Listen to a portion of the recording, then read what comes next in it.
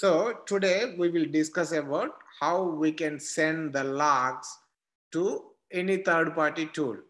Okay, any third party tool, for example, Grafana.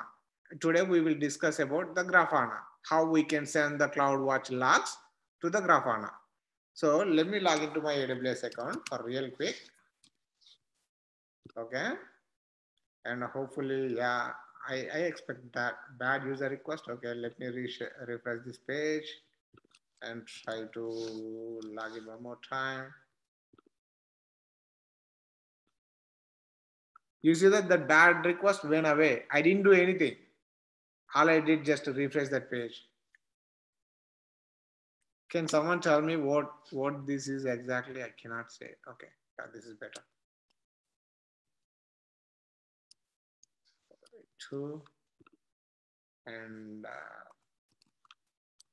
I hope you guys don't have a password scanner, so you cannot see my password.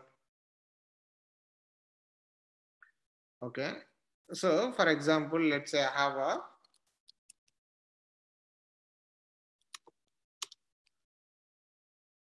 I have a CloudWatch matrix, right? For example, I have a CloudWatch matrix that I wanted to send to a third party tool, for example, Grafana, okay? And I wanna know how it works actually. I didn't get a chance to do it earlier, but now I have an opportunity to do it, right? And these are the metrics that I wanted to send to the third party tool, in our case, Grafana, okay? And what, what metrics do you have here is, you see that you will have a EBS matrix.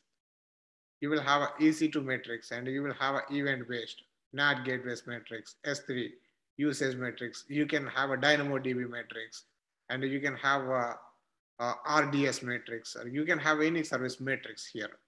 This is the CloudWatch is a monitoring tool, right? It, this will monitor your application let's say I want to send this instance matrix to a third party tool.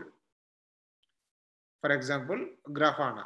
And, and in order to get this CloudWatch access, what we need to configure inside Grafana, we need to provide the credentials, right? And we need to provide the access key, secret key with the CloudWatch read, read access. It doesn't have to write because we are just sending the logs. We are not creating any logs or any metrics here.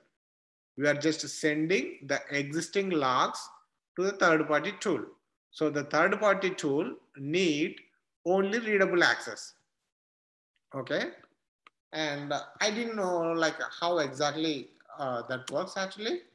Steps to send CloudWatch metrics to Grafana. Okay. And I will, I will, I will go to the Grafana documentation. Compared to the, like, compared to this kind of, uh, uh, what we say, marketing websites, the first thing I will do, I will check with the, the, the product documentation first product documentation only. So this marketing website, like this marketing websites, right? They are useful to troubleshooting purpose. Let's say you have some error and uh, you need to you need to solve that error and you haven't seen that error before. And what you could do, this kind of third party marketing uh, website will have that kind of error and uh, answer. For example, Stack Overflow. But in order to implementation, right, the step-by-step implementation, the first thing I will do, go to this CloudWatch. For example, let's say I was asked to uh, implement DynamoDB inside AWS, right? And I don't know how to do it. I didn't do it earlier. For example, what I will do, I will go to the DynamoDB documentation from AWS and I'll follow the same steps. That's what we did for EKS, Docker, ECR, and uh, that's what we did for EC2, a lot of AWS services that we provisioned based on their documentation only. So here, the first thing I wanna go, I wanna look the CloudWatch, the Cloud, not CloudWatch, Grafana documentation for the CloudWatch, okay? So what this guy is saying is you need to have IAM policy. the specific IAM policy in the data source configuration. What is the data source here? What is the source? Source of your metrics? CloudWatch is the source. Okay. And uh, if you choose CloudWatch is the source, like the way you are seeing here, right? What you are seeing here, you are seeing the source like uh, EC2, EBS, blah, blah, blah. Those are the source for this CloudWatch. And the same way, you can have uh, source as a CloudWatch, RDS, or DynamoDB, whatever. A lot of a lot of source like source is nothing but where the data is coming from. That is the source. Okay. And you are saying your data, your matrix are coming from CloudWatch. So obviously you should have access to the CloudWatch. You see that? So action, allow. What you should allow? Describe alarm history, describe metrics, blah, blah, blah. And I've got this complete, the, the complete permission from their documentation. I, I'm not going to make any changes. All I'm going to do just to create a policy. That's it. Okay. And uh, I will attach this policy to IAM user and I can configure that IAM user credentials in the Grafana. So automatically Grafana will get access to this CloudWatch, right? And yeah, that is good. I'm gonna do like, you know, if you need metrics and logs, you should use this policy. And you should use, if, if you need only logs only, you should use this policy. And if you need metrics only, you should use this policy. So I have that from their documentation. So I'm gonna use the same thing based on my requirement. Let's say if I need metrics and logs, right? I'm gonna use this policy. If I need only logs, I'm going to use this policy. And if I need only matrix, I'm going to use this policy to create an IAM user. And I'm going to use that access key, secret key inside the third party tool. So that the third party tool will get access based on that uh, permissions, IAM permissions, nothing but based on this policy. Am I clear? Now I have authentication ready. Now I need to create a dashboard actually.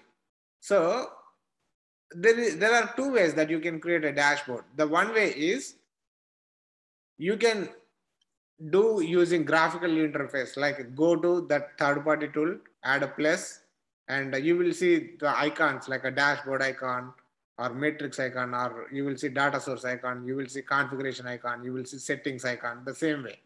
Same way you see the GitHub, right? What you will see, create a repo, and SSH keys, blah, blah, blah. Right? The same way you will see dashboard, you will see settings, all those things in the Grafana.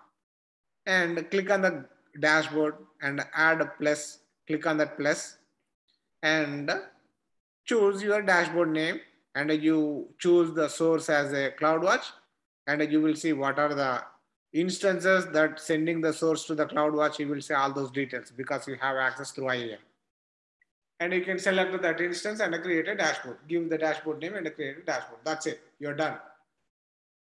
You're done. Pretty straightforward, right? And I want to save that configuration. For example, I want to save that configuration, right? So what I will do, so next time I can use the same configuration to create a dashboard. What I will do, I'll do, I'll go to Grafana Labs.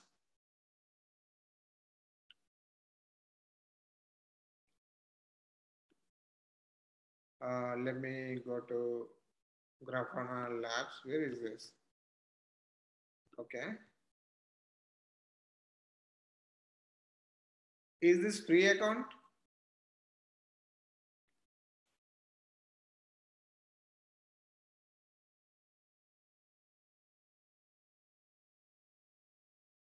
Is this Grafana only? Okay that is good. If it is free, we can we can create an access, blah blah blah. But I don't think it's free. But that's okay. So go to Grafana Labs to create a dashboard. To create dashboards, right? Okay, right here, I'm going to this page and try to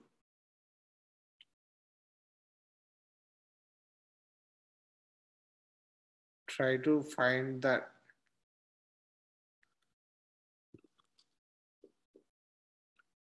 JSON file to send CloudWatch. EC2 metrics, metrics to create a dashboard, something like that in Grafana.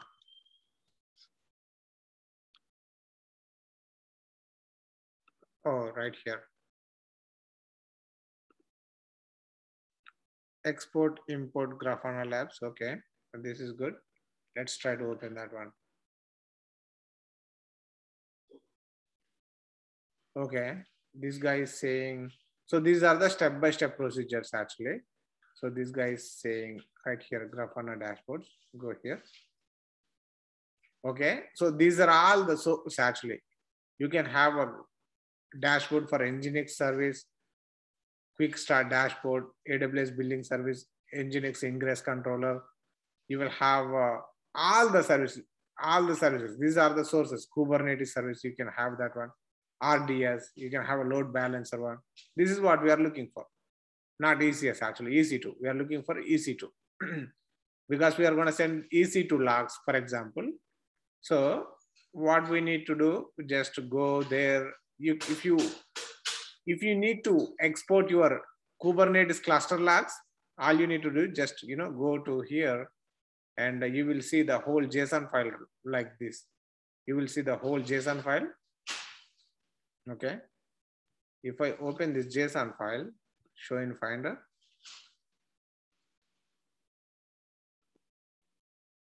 open with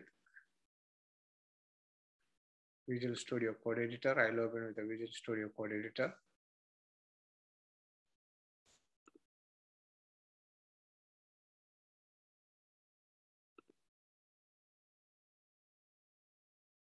What's happening?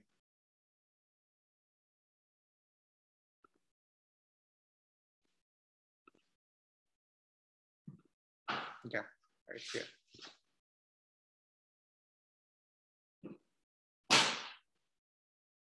you see that this is a complete JSON file that, that I have already.